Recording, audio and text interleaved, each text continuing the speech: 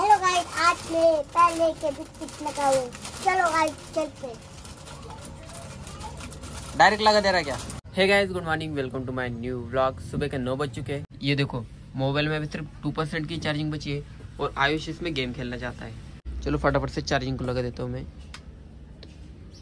यार बच्चे भी ना गेम मिल जाए तो सब कुछ भूल जाते। दुकान की हालत अभी कुछ ऐसी है। मैंने आइसक्रीम वाले भैया को कॉल कर दिया है जो कि थोड़ी देर में आ जाएँगे। और बिस्किट वाला सेक्शन भी थोड़ा बहुत खाली लग रहा है। जो कि मैंने कल ही मंगवा ली है जो आज शाम तक आ जाएँगे शायद से। ये देखो अभी साबुन से खेलने लग गया वैसे गैस मैं सोच रहा था यहाँ पर जैसे मैंने ये साबुन और वो रखने के लिए एक बढ़िया सा रैक बनाया।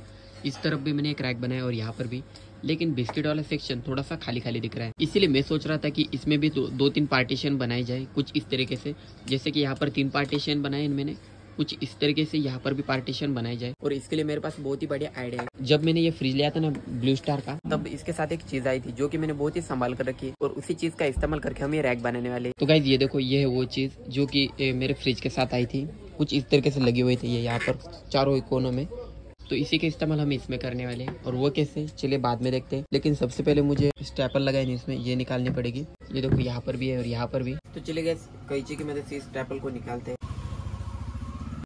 चलो, पहली तो निकल, दूसरी भी निकल गई। वैसे जब भी मुझे कोई नई चीज़ मिलती है ना, तब मैं उसे संभाल के रखता हूँ।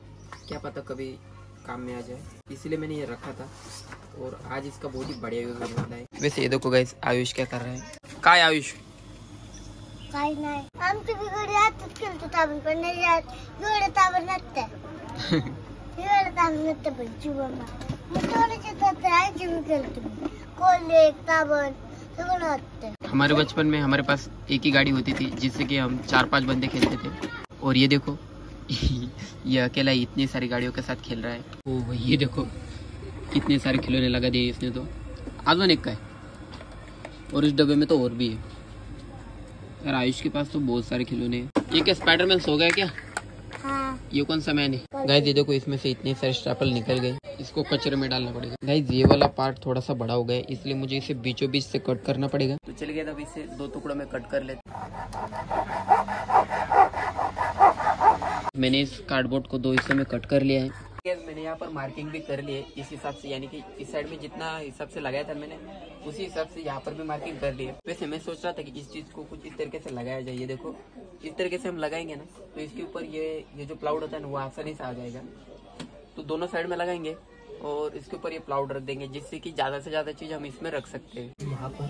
तो ये देखो गैस मैंने कुछ इस तरीके से इस साइड में तो लगा दिया है। अब इसी तरीके से इस साइड में भी लगाना है हमें। चले गए मैंने दोनों ही साइड में ये वाली चीज़ लगा दी। ये देखो इस साइड में भी और इस साइड में भी। और अब ये ऊपर की तरफ़ जो प्लाई रखा है ना, वो अब इसके ऊपर रखेंगे। चलो, ऊपर का प्लाई निकालते हैं। और अब डालते हैं इसके अंदर ये। चलो, लग गया। ओ भाई, क्या बढ़िया लग रहा है यार गाइस ये देखो। इसके ऊपर आराम से आ गया। और इसके ऊपर सपोर्ट भी इसको। यानी कि नीचे गिरने की भी कोई टेंशन नहीं। और आराम से इसके ऊपर आ जाता है, ये देखो। बिस्किट का कुछ ज़्यादा वज़न भी नहीं होता, जिस कारण हम इसके ऊपर आसानी से सामान को रख सकते हैं। मैंने इसके ऊपर प्लाईवुड को रख दिया है और पहले इसके ऊपर जो फर्श थी ना, ऊपर के साइड में, वो भी लगा दिए क्योंकि मेरे पास ये वाला प्लाउड खत्म हो चुका था तो चलो इसको नीचे लगा दिया और ऊपर की तरफ़ फर्श। और ये देखो कितना बढ़िया लग रहा है अभी। इसके ऊपर अब रखेंगे हम बिस्किट। पहले एक ही सेक्शन था, लेकिन अब इसमें तीन सेक्शन बन गए। और अब हम इसमें बहुत सारा सामान रख सकते हैं। तो गाइस में फ्रिज का और एक इस तरीके का पार्ट लेके आया हूँ। जिससे कि मुझे बीच में से ही कट करना है। और ये मुझे यहाँ पर लगाना है कुछ इस तरीके से। जिससे कि बिस्किट है ना, सामने की तरफ़ नहीं आएँगे। वैसे मैंने पहले ये लगाया, ये देखो। ये थर्मोकॉल लगाया था मैंने, लेकिन वो समय के साथ ये देखो पूरा खराब हो चुका है। तो इसको निकाल कर मुझे ये वाला चीज़ लगाना है। तो चलिए फटाफट से इसको बीच में से काट लेते हैं। ये देखो गैस मैंने इस चीज़ को कुछ इस तरीके से लगाया है यहाँ पर। बहुत ही बढ़िया लग रहा है। और यहाँ पर ऐसे बिस्किट रखने से आगे की तरफ़ गिरेंगे नहीं। तो चलिए नीचे का थर्मोकॉल भी अभी निकाल देते हैं। करीब दो साल से लगाया था ये। मैंने टेप से चिपकाया था। धूले इसके नीचे, देखो। एक बार सभी चीज़ों को साफ़ कर लेते और इस चीज़ को मैं यहाँ पर लगा देता। तो फाइनल गैस पूरे दो तीन घंटों की मेहनत के बाद मैंने आखिरकार ये रैक बनाकर तैयार कर दिए।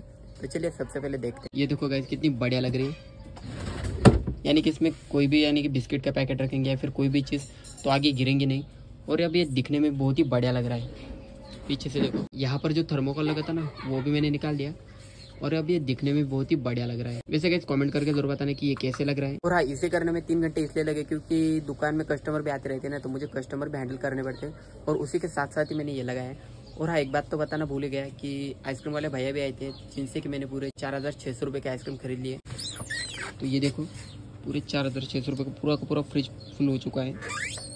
तो गाय शाम के चार बज चुके और कल मैंने जो सामान खरीदा था ना वो घर पहुँच चुके। ये देखो टेंपो वाले भैया अभी अभी आए और ये पार्ले बिस्किट के बॉक्सेस और ये कोल्ड ड्रिंक के कुछ बॉक्सेस खरीदे थे मैंने और साथ ही में चावल हो गए और शक्कर के कट्टे। तो चलिए फटाफट से सारी चीज़ों को घर के अंदर लेते हैं। लेकिन उससे पहले मुझे उन शक्कर कट्टों को यहाँ पर रखना और तभी मैंने देखा कि बैटरी के हमारे इन्वर्टर के बैटरी के अंदर जो पानी होता है ना, वो बिल्कुल खत्म ही हो चुका है। इसके अंदर थोड़ा सा ही पानी बाकी है। तो सबसे पहले बैटरी में पानी डाल देते हैं, क्योंकि अगर शक्कर के कट्टे रख दिए तो फिर बैटरी निकालना मुश्किल हो जाएगा तो चले गए मैंने इन्वर्टर के बैटरी को बाहर तो निकाल लिया, लेकिन ये देखो, दुकान की हालत क्या है गई। मैंने इस कोने में रखा था ना बैटरी। तो चले गए मैंने एक सिक्के की मदद से इन सारे सेक्शंस को खोल लिया है, और अब इसमें डालते हैं ये वाला पानी, और बैटरी वाटर क्या कहते हैं इसे। तो गाइज़ मेरे पास ये दो डिस्टिल वाटर की बोतल थी, जो कि मैंने इसके अंदर डाल दी है। तीन सेक्शन तो पूरे भर गए, लेकिन ये तीन खाली है। लेकिन यार, दोनों ही बॉटल खत्म हो चुकी है तो कल मुझे मार्केट से लानी पड़ेगी। चलो, अभी के लिए तो हमारा काम हो जाएगा। उसको रख देते उसकी जगह पर। तो चले गए फटाफट से नए वाले सेक्शन में बिस्किट के पैकेटों को लगाते हैं। लेकिन उससे पहले ये चाय पत्ती के पैकेट है, इनको रख देते हैं यहाँ पर। चलिए, सबसे पहले पतंजलि को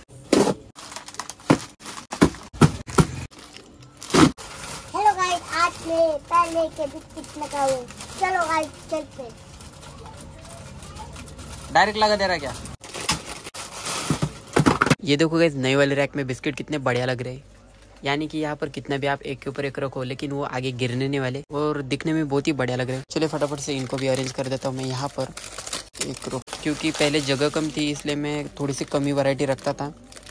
लेकिन अब मैं इसके अंदर बहुत सारी वैरायटी के बिस्किट भी रख सकता हूँ। तो चले गए मैंने सारे के सारे बिस्किट लगा दिए और ये देखो अब दिखने में कितना बढ़िया लग रहा है यार गाइस। पहले कितना बेकार लग रहा था और अब देखो यार, यानी कि लुक भी थोड़ा सा अच्छा लग रहा है। शॉप से जैसे कस्टमर सामने से आएगा तो बिस्किट वाला सेक्शन देख के ज़्यादा से ज़्यादा बिक्री होने की चांसेस बढ़ जाती है देखो। और जो मैंने चीज़ें रखी थी ना, उसका फ़ायदा हो गया एक। तो चलिए गए आज का व्लॉग में इतना है। आयो आज का व्लॉग आपको अच्छा लगेगा मैं मिलता हूँ आपको नेक्स्ट व्लॉग में। तब तक के लिए bye bye thanks for watching bye